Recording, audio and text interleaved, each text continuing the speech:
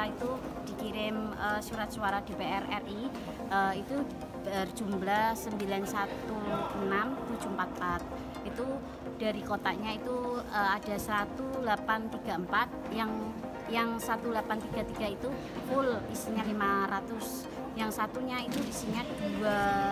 sekitar 2000 eh 244 itu yang untuk recehan